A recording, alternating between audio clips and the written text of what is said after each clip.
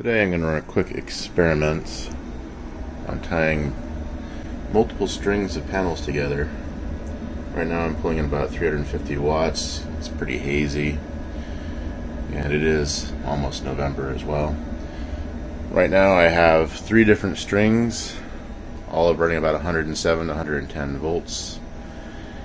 I only have one connected right now which is the array that I just built that is four 200 watt panels then I have two strings of 100 watt panels for a total of 500 watts per string. So that should be 800 plus 500 plus 500. And I want to link them all together here since they're all similar voltages and see what kind of power I get. So right now on my 800 watt array I have 113.6 volts and each of the strings of 100 watt panels is 117.6 or so volts. For the record, the last string was 118.1 volts, so we have about a 7 volt spread. I'm going to use these three-way connectors here to link all the strings together. Alright, now that we made some nice spaghetti wiring, let's go inside and see what my voltage is and what kind of wattage I get out of it too. And here's our final voltage for all three strings tied together.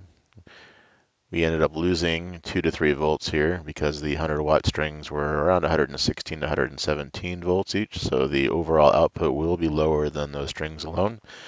But this way, if you have only one MPPT or only one set of wires to use, you can tie them together and have all of the arrays work together to produce power when you may only have one otherwise.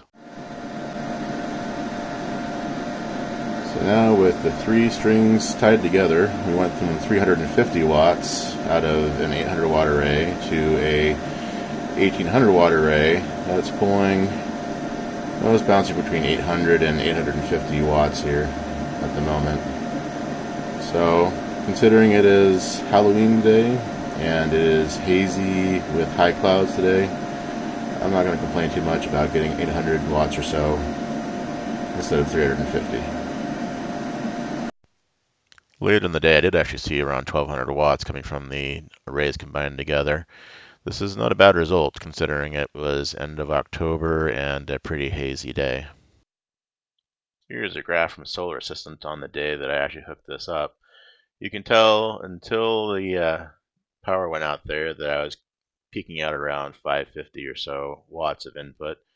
And then after joining all the strings together, I hit a peak of about 1100 to 1200 as far as that goes. So you do definitely get a gain here.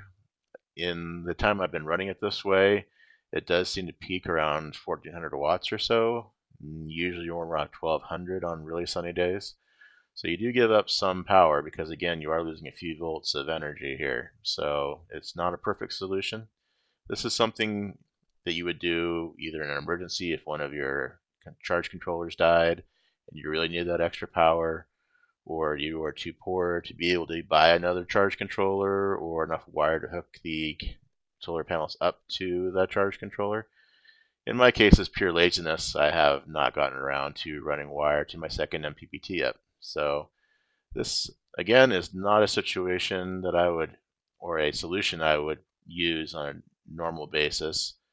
It is definitely preferable to have separate wiring to go into separate charge controllers. But in a pinch, this will work out. It is a shenanigan, but hey, that's what this channel is about. I hope this was helpful. Thank you for watching and have a good one.